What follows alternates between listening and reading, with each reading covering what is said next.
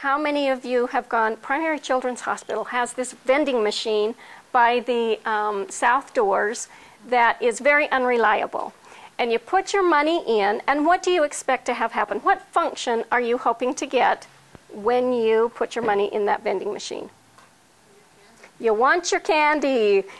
Um, in my case, you know, there's the soda fountain, got to have the Diet Coke. You, I need that. It's my lifeblood. So that's the function I'm trying to get.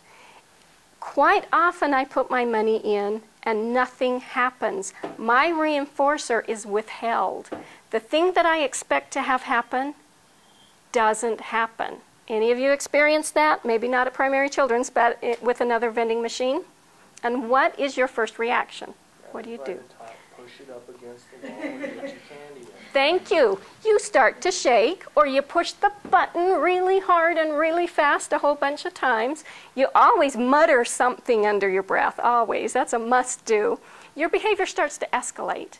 That is called an extinction burst because extinction means the reinforcer that you're used to getting is withheld. And it makes you really mad. And the same thing happens to our kids.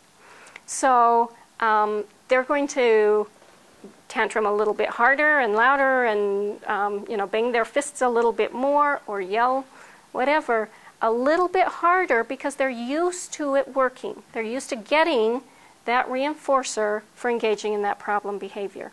How many times are you going to put your dollar bill in that machine and have nothing come out Anybody have a learning curve there? I usually go three times and then I figure out there's no Diet Coke coming. But three is my maximum. After three dollars, I'm not going to put any more money in. Anybody else go higher than three dollars? Most of you learned quicker than I do. It's the same for our kids. If they put the behavior in and the desired outcome doesn't occur, pretty soon they're going to stop. The payoff isn't going to happen they're going to stop. But unfortunately, before that happens, we all experience that extinction burst. It worked before, I can make it work again. I just need to engage in the behavior bigger, louder, harder, stronger, faster, more there, all those kinds of things. The same principle applies for problem behavior for our sons and daughters when they expect to get that payoff, and we are perfect vending machines as parents oftentimes. You know, your wish is my command, and if you engage in problem behavior, I want.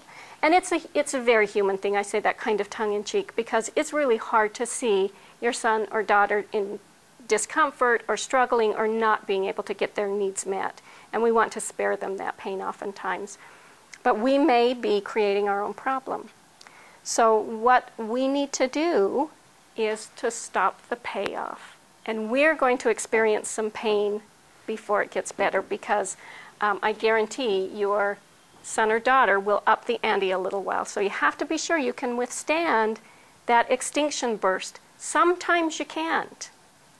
So, if you can't, be honest and don't choose that as a tool in your toolbox or work on some other strategies. We'll talk about other strategies um, before you use extinction so that the behavior has already been reduced a little bit and then you can add extinction. But sooner or later we do have to put extinction in because if you can get the payoff, the reinforcer for engaging in problem behavior and you have perfected that problem behavior for two or three years of your little life, it comes pretty naturally. And sometimes what we ask our sons and daughters to do instead of problem behavior is hard work. It's tough.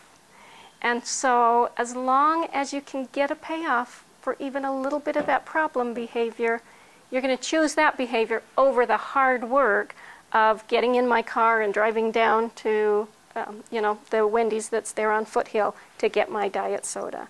So I would much rather bang on the machine and hope that diet soda comes gets out. And I'm still going to put my money in that machine for the third time and not get my diet soda before I go, oh, guess I got to get in the car and drive down to Wendy's.